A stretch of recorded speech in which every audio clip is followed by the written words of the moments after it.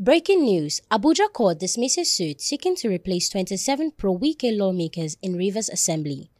The Federal High Court in Abuja has dismissed a defection suit instituted against the 27 members of the Rivers State House of Assembly, loyal to the minister, loyal to the minister of the Federal Capital Territory (FCT), Nyesom Ezenwo Wike. Welcome to Naija Anchor News, and today we're talking about the High Court in Abuja dismissing the suit against pro Wike loyalists. The suit, seeking to replace 27 lawmakers on the account of their alleged defection from the People's Democratic Party (PDP) to the All Progressive Congress (APC, was on Friday thrown out on various grounds. Among others, Justice Peter Lifu, who delivered the judgment, held that the suit instituted by the Actions People's Party (APP) was statute barred, having not been filed within the 14 days allowed by the law. While the defection was said to have been carried out in December last year, the APP filed the case on July 12, a period of eight months after the cause of action emanated.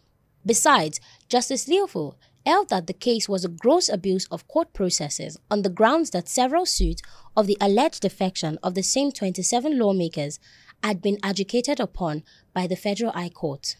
The judge, who quoted the previous judgment of the Federal High Court and said the request of replacement of the lawmakers had earlier been rejected due to lack of sufficient evidence to establish the defection of the legislators.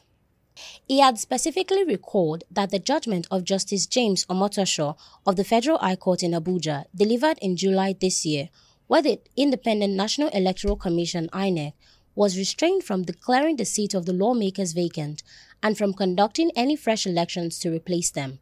Justice Lifu said that since the judgment had not been set aside or appealed against, it remains binding with the force of the law as far as the issues of defection is concerned for the 27 lawmakers. He said that it would amount to a display of judicial rascality for him to sit as an appeal court in judgment of the same court. The judge subsequently dismissed the suit on three major grounds. We'll bring you some more details about the story later. That's all for now. Share your thoughts with us in the comment section and stay tuned for more news update on Naija Anchor News.